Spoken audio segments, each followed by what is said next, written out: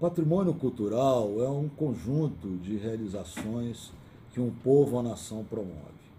Né? Ele reúne tanto manifestações de natureza material como manifestações de natureza imaterial. Os monumentos, os edifícios é, significativos, as danças, os folguedos, a, as artes, de uma maneira geral, fazem parte do patrimônio. Nos últimos anos, essa noção de patrimônio ela se ampliou consideravelmente. Até duas ou três décadas atrás, o patrimônio era focado naquilo que é extraordinário ou monumental. Hoje, a partir da Constituição de 1988, essa noção se ampliou bastante e o patrimônio hoje ele considera as realizações dos mais diversos segmentos da sociedade brasileira, é, dos imigrantes, dos brasileiros de origem africana, dos indígenas, em suma, compõe um painel muito mais próximo da realidade do país. É, para que a gente possa preservar esse patrimônio, é, o IFAM, as prefeituras, os estados e a sociedade civil, que é o seu principal agente de preservação, é, se utiliza de alguns instrumentos.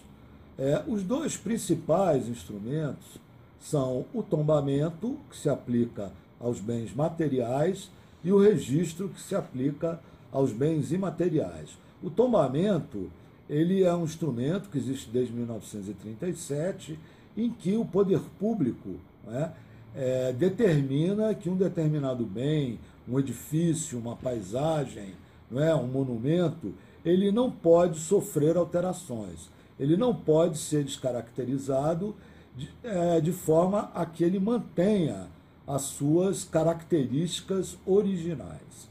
É? Ele é um, um instrumento que restringe é? É, a, a possibilidade de alterações, mesmo esse monumento ou esse edifício sendo de propriedade privada.